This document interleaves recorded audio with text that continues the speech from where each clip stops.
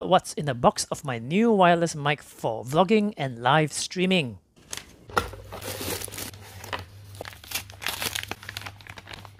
First, there is the instruction manual.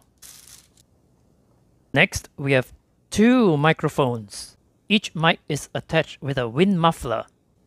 Then there is the magnetic clip. Magnetic buckle with a sticky pad behind the receiver. There is a TRS to TRS cable to connect the receiver to a regular video camera. And then there is a TRS to TRRS cable to connect the receiver to a phone. A USB to USB-C charging cable for the charging case. And finally, I like the charging case because it tries to look like the transmitter.